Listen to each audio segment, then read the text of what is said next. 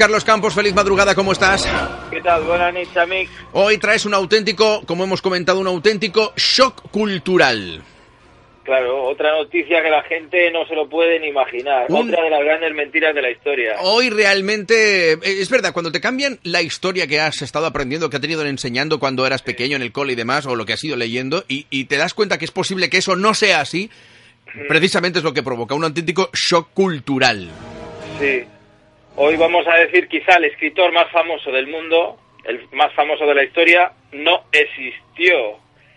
Shakespeare, Shakespeare, Shakespeare. no existió y Cervantes, otro mito cultural de la lengua española, era chuloputas y estafador. Pues, lo- lo- ¿Sabes que lo están buscando ahora, los huesos de Cervantes con un georradar? Claro, no saben ni dónde murió ni nada. No, saben dónde está enterrado. Eh, pero no el lugar exacto. Por eso por un- con un georradar están eh, escudriñando todo el suelo a ver si lo encuentran. Sí, y además ha salido la noticia de Shakespeare porque ha sido el, el aniversario del nacimiento Mm. de Shakespeare Correcto. y autores diciendo, noticia Festo Matrix, pues que no existió. Eh, hay ya autores planteándoselo. Pero, pero ¿cómo que no existió Shakespeare? Ya, parece mentira, ¿no? Sí, Con la toda la, murga que nos Pues han sí. dado de Shakespeare, eh, que Shakespeare no haya existido. no, pues no existió. Pero ¿cómo se llega a esta conclusión? Bueno, eh, porque la biografía es muy extraña. ¿eh? Eh, Shakespeare era un cateto del sur de Inglaterra que va a Londres y triunfa allí en el teatro. Y era recogedor de boñigas. De- además, además que en el teatro se dice que cuando hay muchas moñigas, en la obra es buena, ¿no? Por eso en, en teatro se dice mucha mierda antes de una... Porque quiere decir que han ido muchos caballos, que no se decía en esa época, ¿no? Pues fíjate, era recogedor de boñigas y un cateto de Stratford upon Avon, una zona del sur de Inglaterra que va a, a Londres y triunfa como actor y como dramaturgo. Ya es un poco raro todo, que primero seas actor, que seas como, era portero, ¿no? Sí. Escribe Otelo sin entender su fuente italiana, porque él no, sea- no sabía italiano, que, que- no había sido publicada en inglés, porque Otelo se basa en una fuente, Hmm. ¿eh? Y el, el Hamlet se basa en el francés de Belfort, que también plagió Keats. ¿m? Aparte, era un tío que era cateto y, y estaba todo el rato hablando de la nobleza. ¿Cómo puede ser? Si eres una persona que no eres noble, ¿cómo sabes tanto del mundo de la nobleza? ya solo la biografía no está cuadrando nada, ¿no?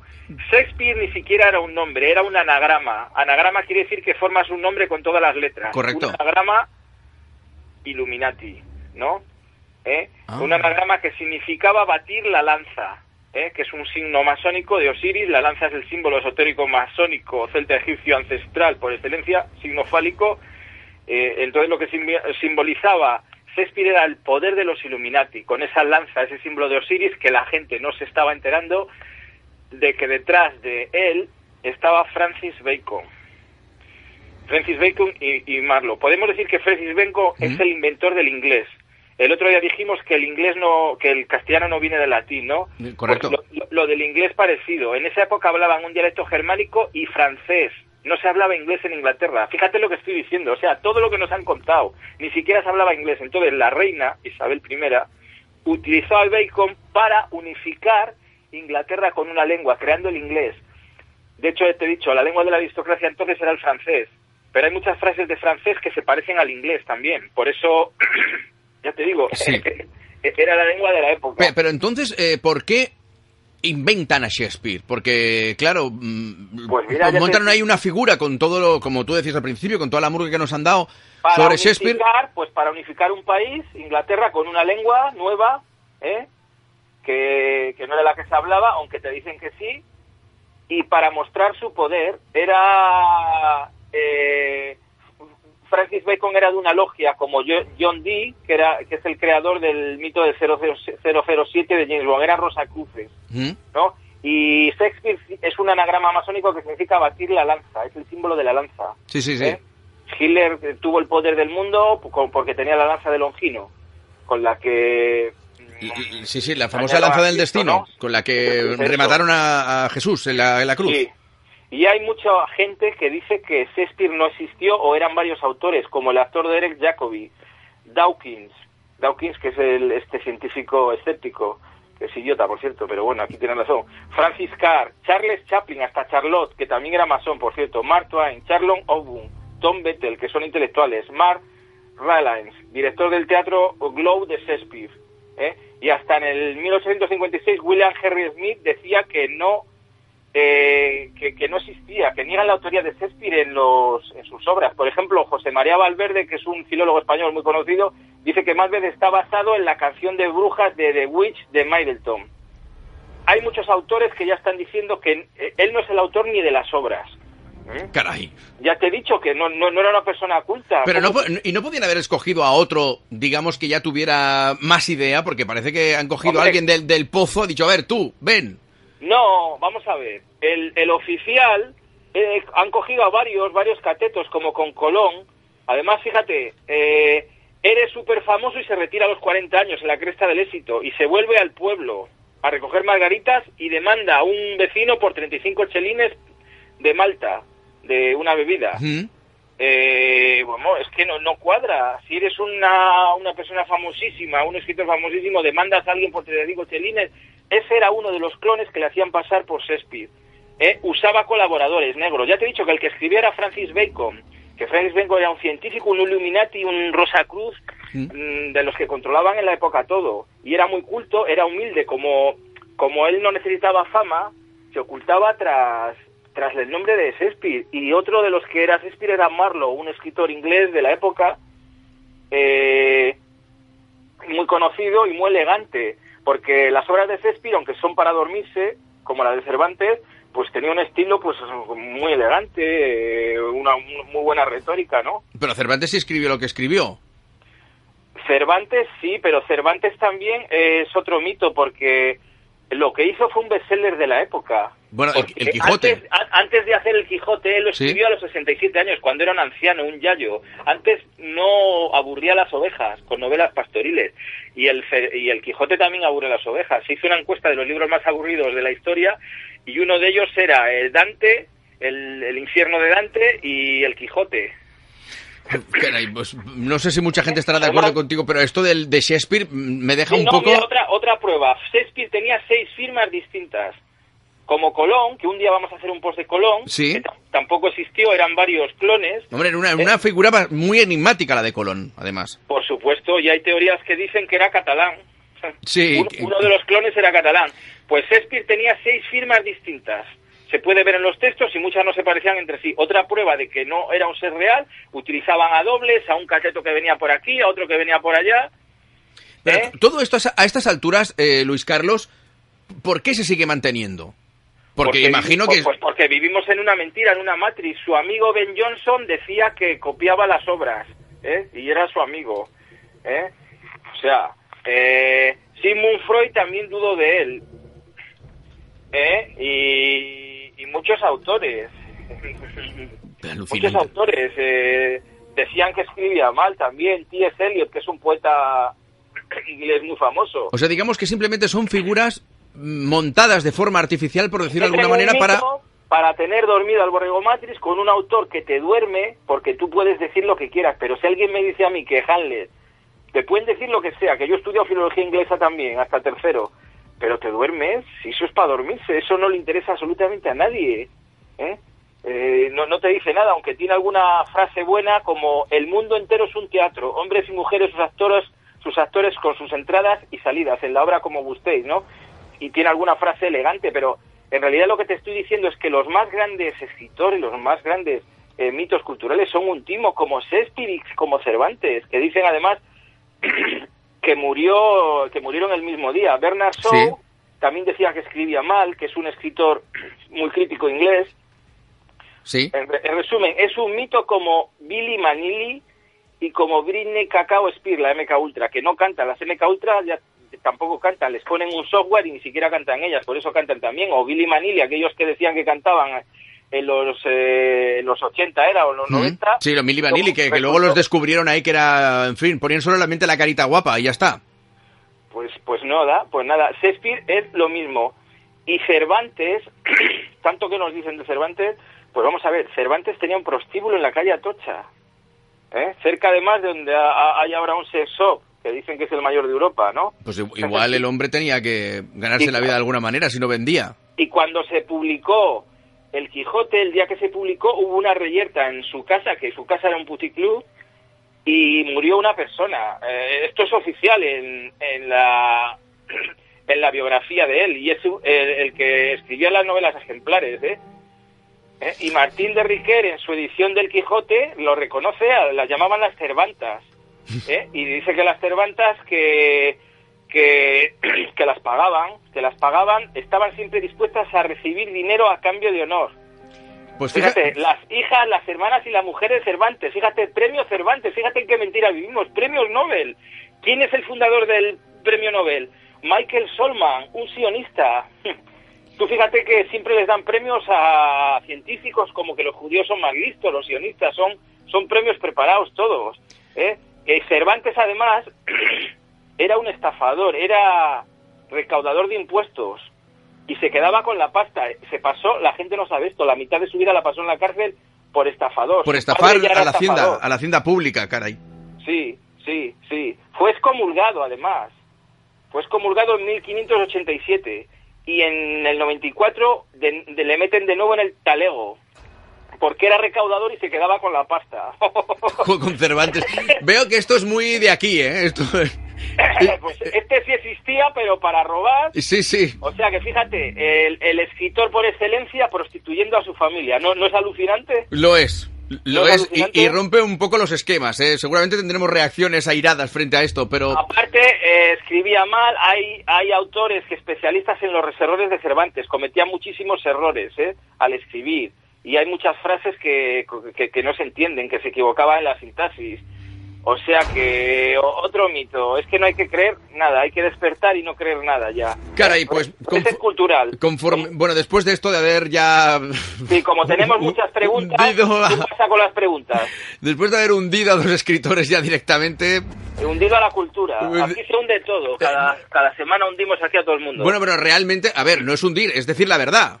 Por eso es que la gente no lo sabe. Por eso, ¿y a quién admiras? Pues la gente admira a Shakespeare, Cervantes, tanto el día con premio, premio Cervantes. ¿Y quién era Cervantes? Pues la verdad, un chulo putas. Vivía de la prostitución el tío. Joder. Bueno, vamos con las preguntas que, que han dejado en el post del Sí, facebook.com hay barra muchas. Nitornitorin, que hay un, Hay un montón, hay un, Vamos mon- con ellas. hay un mon- Podéis haber un consultorio directamente que esto triunfaría. Vamos a hacer un consultorio sexual. De- Bueno, que creo que una de ellas es así, pero en el, desde el punto de vista espiritual.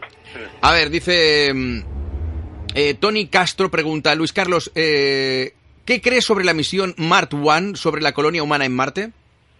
Bueno, ellos tienen allí bases, los Illuminati ya tenían bases, salen las tablillas de Sitchin que pasaban por Marte y por la Luna, entonces pues es como todos los proyectos de la NASA, un camelo para sacar pasta y vete tú a saber lo que les van a hacer a los que van allí, ¿eh? Seguro que los secuestran o les hacen de todo, ¿eh? Y de todas formas la era espacial tiene que empezar en algún momento, ¿eh? Y ya es momento de ir a Marte, ya, ya han ido, lo ha dicho John Lear, un piloto de la, de la NASA, ¿eh? Eh, en algún momento van a hacer el paripé de ir a Marte, porque tenemos que ir a Marte. De hecho, los que estamos aquí en vida vais a ver retransmisiones de televisión en Marte, eso lo digo ahora. Pues Esto quedará para siempre este post, ya directamente para que, que luego digan, no, no, Luis Carlos, yo dije, donde dije, digo, digo, digo. No, no, esto está grabado y subido en el post. Sí, Bien, pregunta Tiranosaurio Rex. Si bien los reptilianos y los Anunnaki están tecnológicamente igual de evolucionados, los primeros lo están menos como especie. Entonces, ¿por qué los Anunnaki acordaron el pacto reptiliano si están por encima de ellos? O eso de quién está por encima, mm, yo es discutible. ¿eh? yo creo que los reptilianos. De hecho, cuando vinieron los Anunnaki hace 450.000 años en la eh, era glacial Mindel, que vienen las tablillas sumerias, que no, ¿cómo saben que era una era glacial si se ha descubierto ahora en el siglo XIX? Ya estaban los reptilianos. ¿eh? Hay opas de reptilianos en todo el mundo, en todo el mundo. Figuras de reptilianos comiéndose hombres, comiéndose niños. ¿eh? Entonces, eh, en realidad los reptilianos están tecnológicamente todavía más evolucionados. Las dos culturas tienen una evolución tecnológica que está a miles de millones de años luz de nosotros. ¿Por qué pactan? Pues pactan para, para repartirse el botín de la tierra, ¿no? Es como la mafia, ¿no? Ellos pactan para eso. y pero tienen guerras entre ellos y lo que hablamos el otro día, las guerras entre San Jordi y el dragón y tal, pues son guerras entre los dos bandos, ¿no? Mm. Raúl Vera pregunta, ¿es cierto que Putin se está pasando el nuevo orden mundial por el arco del triunfo? ¿Por eso se está tensando tanto la situación en Ucrania? No, Putin es de ellos.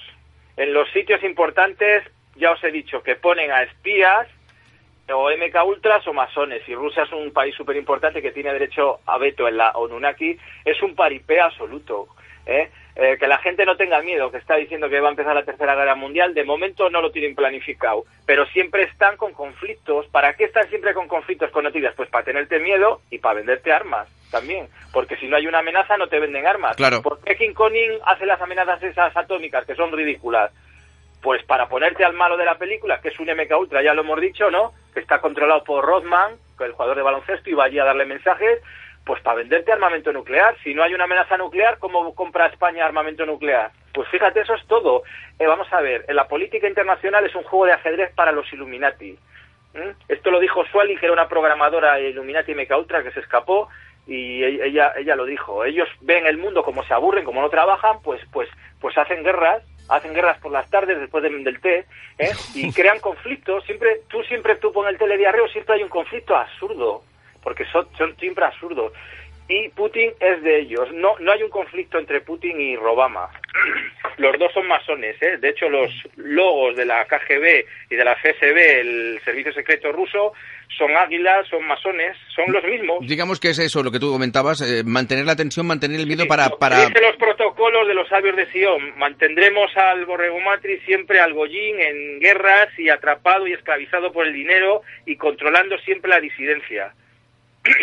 José María Carbón pregunta, ¿podrías explicarnos cómo aplicar correctamente el mantra de Babanam Kebalam? Sí, eso es interesante y requeriría un programa entero, pero vamos a hacerlo brevemente. Pues puedes cantarlo, en Internet hay muchos mantras, puedes buscarlo en Internet y lo escuchas desde tu ordenador.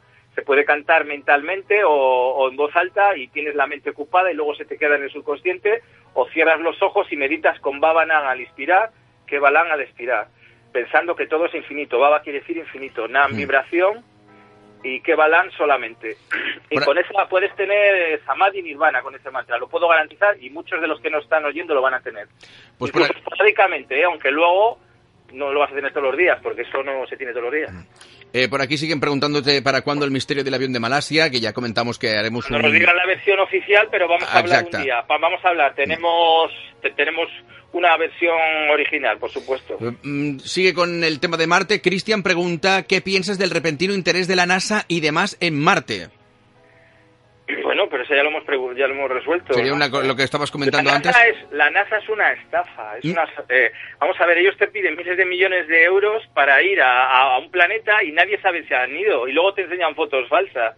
¿eh? Luego te enseñan fotos falsas o, o matan a los propios astronautas. Ha habido accidentes que les han matado. ¿eh? Todos los nombres de las operaciones son masonas, ¿no? Y MK Ultras contaron que las llevaban a, a las instalaciones de la NASA para a donde las, torturaban a ellas y la familia. Mira, Nando Martín eh, pregunta, eh, Luis Carlos, ¿podemos tener alguna base americana tipo Área 51 en España?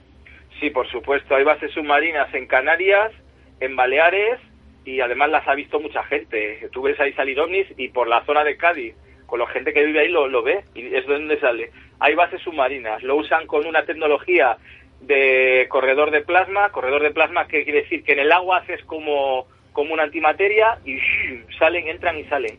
Bill Cooper empezó su, su investigación cuando vio salir un ovni cuando estaba en un barco de, hmm. La base de una base naval. Luis Villegas pregunta, saludos desde, desde México, eh, dice, muchos mitos y leyendas hablan de una liberación la cual tendría lugar en estos tiempos. ¿Exactamente a qué liberación se refieren? Sí, ¿Y, nos podrías decir quiénes son los esenios? Sí, es cierto, es cierto, y, tienen razón esas profecías, ¿eh? como las dice el, el texto tolteca Alcomeltum, que presenté yo al mundo, y eh, describe toda la evolución de la Tierra desde la Atlántida y lo de las profecías es real porque al final vamos a ganar y al final se impone el bien y el Dharma, ¿no? De todas las profecías pues hindúes, hopis, eh, todas las culturas pues te dicen que al final se va a imponer el bien en la Tierra. Estamos en una fase de evolución, en el Kali Yuga, la época de la oscuridad, pero después del Kali Yuga va a llegar el Satya Yuga Y es posible, porque de un día para otro hay una catástrofe que puede no puede ser global y cambia todo. Y eh, la gente no tiene que ser pesimista y pensar que vamos a estar siempre así, ¿eh? sino que al final se va a imponer el bien. Eh, Fran pregunta, ¿qué opinas de los extraterrestres? ¿Qué opinas de que los extraterrestres no existes, existen y que en realidad son demonios y entes del inframundo? Sí, eso lo dicen muchos autores y es verdad, es verdad, pero no todos. Algunos vienen de otros planetas, pero que vienen muchos del inframundo. Se hacen pasar por extraterrestres, por pleiadianos, por el Astar, por el comandante Astar. Es, es cierto, es completamente cierto. Y yo estoy cansado ya de historias que son reales, por desgracia, que te entran al cuarto, que hay gente que es débil, que la martirizan, pero por eso no hay que ser débil, no hay que tenerles miedo y con el yoga y la meditación y el mantra Bhavaran Kevalan tienes un buen escudo contra ellos. Pero es, eh, tiene una base de verdad, pero no todos. No todos. No todos, ¿no? Porque hay, también hay miles de millones de planetas, ¿no? Claro. O sea, es que es bastante lógico. No, ya lo hemos comprado, eh, hablado aquí varias veces con ah. diferentes especies que pueden estar entre nosotros. Mira, Adal Rivera pregunta... Recientemente una meca ultra Miley Cyrus se hizo un tatuaje con la imagen de un gato llorando. ¿Estos tatuajes se los hacen bajo su propia voluntad o los amos las obligan para demostrar que están bajo su control? Hombre, por supuesto que no, bajo son zombies y el gato es pues el cachorro que me, que ultra que te torturan de niña, te ponen a un cachorro, le coges cariño, que es lo más terrible que le puedes hacer a un niño, luego le coges el cachorro y te le matan, como hacen con Dorothy en Totó, en la película del Mago de Oz. Por eso le ponen el gato. Cuando veáis a miles de cirrosis con los gatos, que lo vais a ver en algunos videoclips, pues es el cachorro Ultra, por eso las llaman kitten, gatitas, son eh, esclavas sexuales beta, prostitutas beta o kitten, por eso usa la simbología del gatito o del cachorro. Tú vas a ver a Paris tonta y a todas las MK Ultras que salen con una foto con un cachorro. Cuando la veas con el cachorro, mala señal. Mala señal. Mira, Ave Fénix pregunta, ¿qué sabes del proyecto de visión remota? Saludos desde Chile. Oye, hay un montón de preguntas, con un montón de temas, es una cosa, estoy... Sí, el proyecto de visión remota, la CIA lo ha usado hace mucho tiempo y tiene mediums... ¿Pero qué es eso del proyecto de visión remota? Pues que puedes ver, hay gente que tiene poderes que ve a distancia. Por ejemplo, Ingo Swan eh, ve a distancia que hay bases con grises en la luna y que había hombres esclavos desnudos, ¿no? Y tiene razón ahí. Eh, la CIA tiene, tiene mediums con visión remota, la utilizan también, aparte que ellos tienen grises, o sea que ellos tienen hasta extraterrestres extraterrestres de la Tierra, como ya hemos dicho muchas veces, ¿no? Eh, utilizan, hay programas de la CIA de, de, usar eh, los poderes mentales, ¿no? Como sale en la película Matrix, ¿no? Eh, entonces eso es una realidad, ¿eh? Por ejemplo, buscas a alguien y la CIA te coge uno de estos medios y te lo visualiza, a ver dónde está. Tienen una tecnología muy sofisticada, aparte, que es la humana, aparte de la Nunaki y reptiliana que a veces usan o, de los grises, la de los grises sobre todo, ¿no? Pues mira, parece ser que tu catalanidad recientemente expresada en este programa ha calado hondo y Alejandro Sánchez pregunta, una buena pregunta podría ser si hay MK Ultras en Cataluña y reptilianos catalanes. Sí, precisamente es donde más hay. Y además yo, yo conozco a bastante gente con historias, por lo menos te cuentan historias. Bueno, espero que no lo digas en serio, porque... Sí, sí, sí, lo digo en serio. Y, por lo menos hay mucha gente que yo he contactado o que me han contactado que me lo han dicho con historias muy extrañas. Y de hecho, es real. ¿eh? Enriqueta Martí era una tía que secuestraba niños. Mm. La vampira del Raval. La vampira. Y por, el día era una por diosera y por la noche hacían rituales. ¿eh? Oye, que eso que, sale de la nada, ¿no? Es una de esas historias terribles de, de la ciudad de Barcelona. Por eso. y ahí eh, nacieron los templarios. Eh, tiene mucha antigüedad, mucha cultura oculta Cataluña que no se conoce. ¿eh? Mucha, ya, te he dicho que el catalán es anterior a los textos catalanes al castellano. Son del siglo IX y los del castellano empiezan en el X y el XI. Es que han ocultado la cultura catalana. La cultura catalana puedes alucinar con todo lo que hay detrás, que, que se va a ir descubriendo o que quieran descubrir. Mira, José Moyano dice, Luis Carlos, estás todo loco, pero dices verdades como puños. Esto, no es una pregunta, es una afirmación, un halago lo que... Lo que me dijiste tú la primera vez que hablaste conmigo, que estaba loco, y hay un proverbio sufí que dice que ser amante, ser tomado por loco o ser odiado por los demás a menudo es, significa ser amante de la verdad. Siempre ha sido así, ¿no? Que hicieron con Servet, quemarle, ¿no? El que dice las verdades pero son verdades como puños, aparte irrefutables. Aparte nadie me puede refutar nunca nada. Tú ponme un debate a mí en cualquier tema de lo que sea. Me han puesto alguna vez en la televisión eh, en Intereconomía, por ejemplo, con un calentólogo, pues ridículo total, de verdad. Así es que no, no, le dijeron a los de Greenpeace que si querían ir y se rajaron. Les tuve que dar yo una lista de gente porque nadie se atrevía a ir. Y con cualquier tema yo reto a quien sea y les dejo en ridículo. Hay más preguntas. Eh, Raúl RV pregunta, quiero recordar que a Rafa Pal también le tienes un mote. Eh, eso es que no le das mucha credibilidad. ¿Por qué? Yo lo tenía como un anti-pro-verdad, igual que tú, eh, JL, Parcerisa, Celades y tantos otros. Ahora también recuerdo que no acabó muy bien con Celades. ¿Qué pasa con él? Hombre, se ve que el chaval este es nuevo en esto de la conspiración, ¿no? Pues le llamamos Sorgarrafa Cacao Jesús Gifiu del Porro Pal. Eh, no, es, es, un, es un friki, los que le hemos conocido, todo el mundo sale corriendo de él porque, porque vamos, una persona llena de prepotencia y, y aparte alguien que defiende al comandante Astar, que el logo de Astar es un logo de los nazis y que dijo que en 2010 que iba a venir a Yunovni el 14 de octubre o sea, vamos, eh, tiene menos credibilidad que el exnovio de Falete, ¿no? Unas metodas de pata la han engañado en todos los sitios. Una vez pusieron una entrevista falsa de Kissinger, de Kissinger, y él se la tragó, creía que era verdad. Eh, bueno, se, la meten siempre. Él es, un, él es una persona, eso no es periodismo ni nada. Lo que hace es copiar a Alex Oso Jones, que es un desinformador de la CIA, y repetir tonterías y tonterías. Y con lo del Astar, ¿qué credibilidad puede tener alguien que, que quiere en Astar, por favor? Pues mira, Iván Arnau recoge el testigo de los ovnis y pregunta, ¿alguna vez eh, veremos fotos de dentro de un ovni? ¿Fotos eh, de cómo es la vida en otros planetas?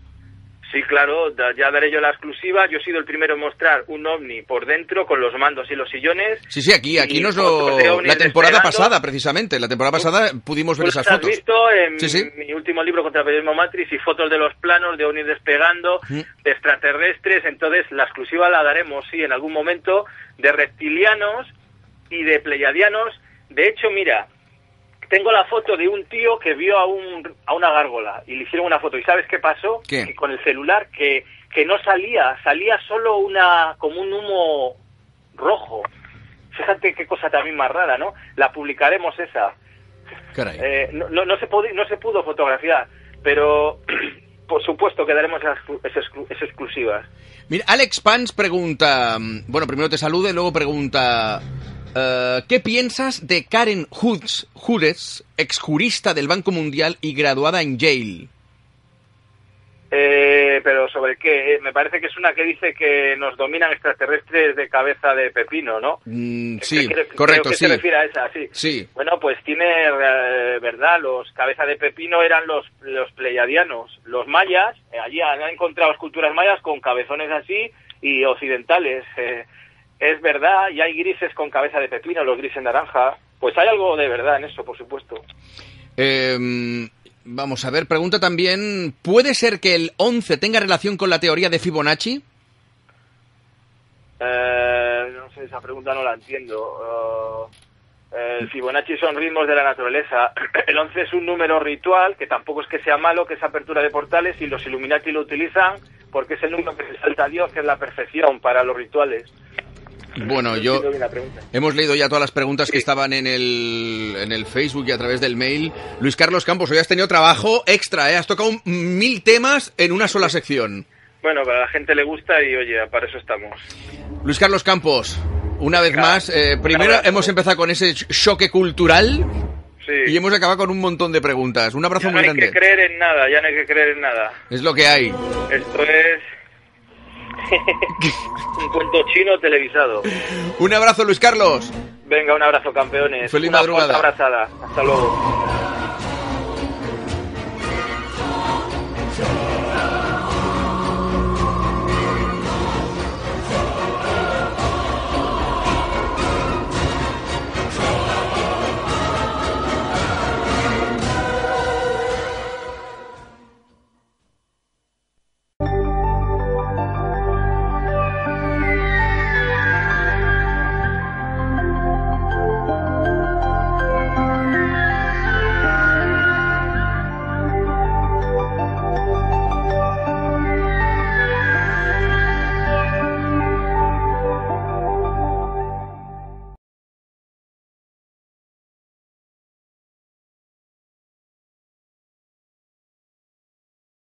Hay ya autores planteándoselo. Pero, pero ¿cómo que no existió Shakespeare? Ya, parece mentira, ¿no? Con la toda la murga que nos Pues han dado sí. de Shakespeare, eh, que Shakespeare no haya existido.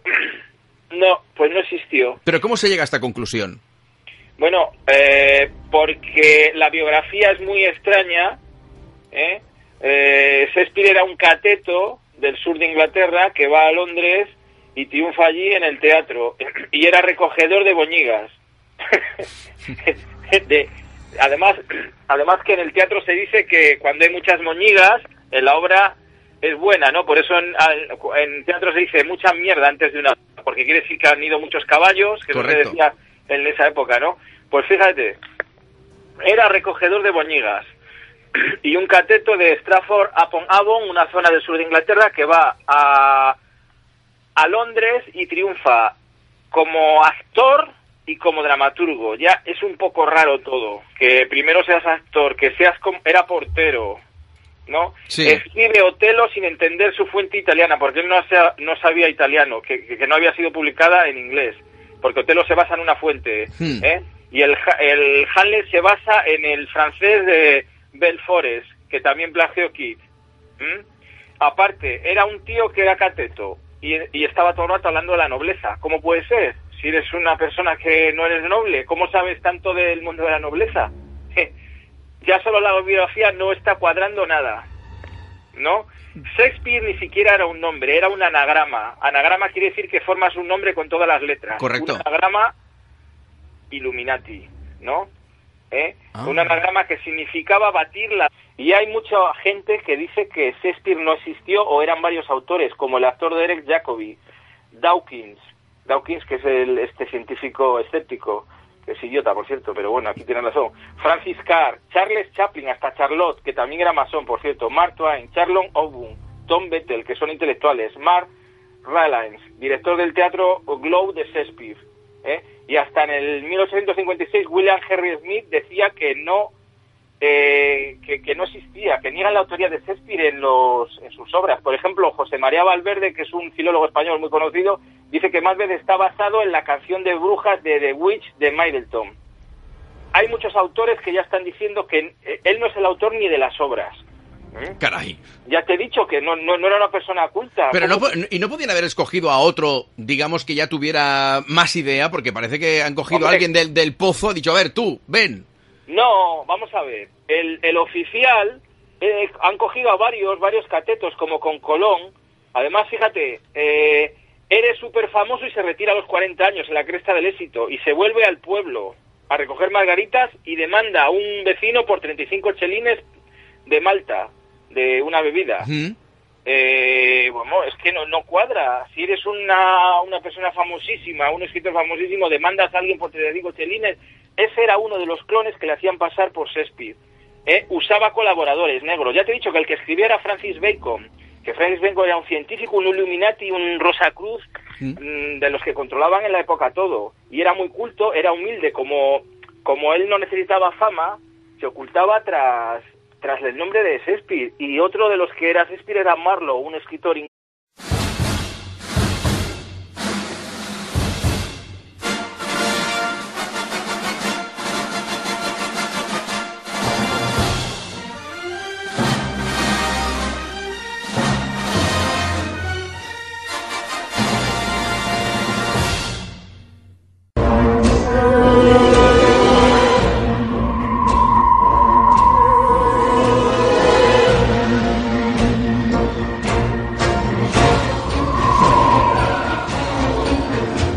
Luis Carlos Campos, feliz madrugada, ¿cómo estás?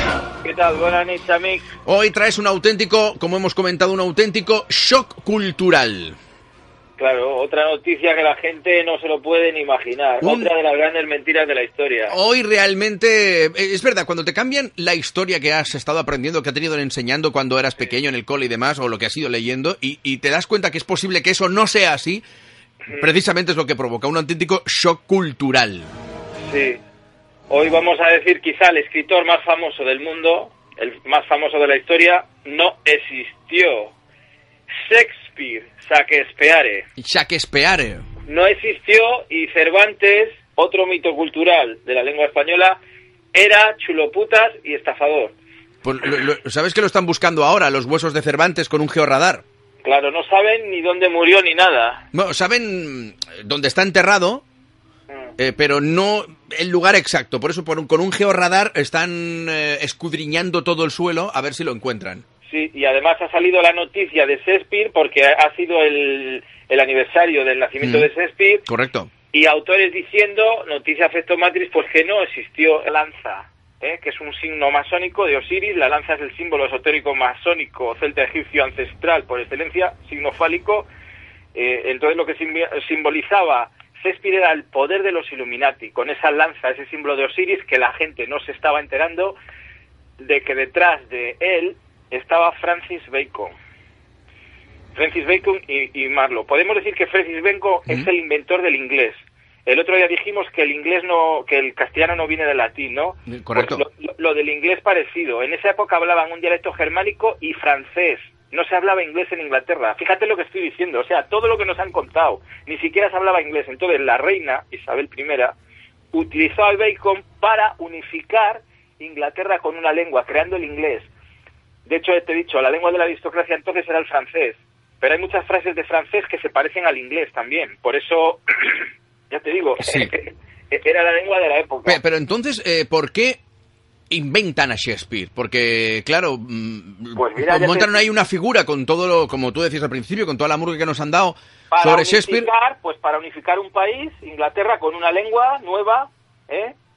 que, que no era la que se hablaba, aunque te dicen que sí, y para mostrar su poder era... Eh, Francis Bacon era de una logia como John Dee, que, era, que es el creador del mito del 007 de James Bond, era Rosacruces, ¿no? Y Shakespeare es un anagrama masónico que significa batir la lanza, es el símbolo de la lanza. Sí, sí, sí. ¿eh? Hitler tuvo el poder del mundo porque tenía la lanza de Longino, con la que... Sí, sí, la famosa lanza del destino, con la que remataron a, Jesús en la, en la cruz. Sí, inglés de la época. Eh, muy conocido y muy elegante, porque las obras de Shakespeare, aunque son para dormirse, como la de Cervantes, pues tenía un estilo pues muy elegante, eh, una, muy buena retórica, ¿no? Pero Cervantes sí escribió lo que escribió. Cervantes sí, pero Cervantes también es otro mito porque lo que hizo fue un bestseller de la época. Bueno, el, Quijote. Antes, de hacer el Quijote, él lo escribió a los 67 años, cuando era un anciano, un yayo. Antes no aburría las ovejas con novelas pastoriles. Y el, y el Quijote también aburre las ovejas. Se hizo una encuesta de los libros más aburridos de la historia y uno de ellos era el Dante, el, infierno de Dante y el Quijote. Pues, no sé si mucha gente estará de acuerdo contigo, pero esto del, de Shakespeare me deja un poco... otra, otra prueba. Shakespeare tenía seis firmas distintas como Colón, que un día vamos a hacer un post de Colón, que tampoco existió, eran varios clones. Hombre, era una, una eh, figura muy enigmática la de Colón, además. Por supuesto, y hay teorías que dicen que era catalán. Sí. Uno, de los clones era catalán. Pues Shakespeare tenía seis firmas distintas. Se puede ver en los textos y muchas no se parecían entre sí. Otra prueba de que no era un ser real, utilizaban a dobles, a un cacheto que venía por aquí, a otro que venía por allá. ¿Eh? todo esto a estas alturas, eh, Luis Carlos, ¿por qué se sigue manteniendo? Porque, imagino que... Pues porque vivimos en una mentira, en una matriz. Su amigo Ben Johnson decía que copiaba las obras, ¿eh? Y era su amigo, ¿eh? O sea, eh, Sigmund Freud también dudó de él, ¿eh? Y, y muchos autores, muchos autores eh, decían que escribía mal también. T.S. Eliot, que es un poeta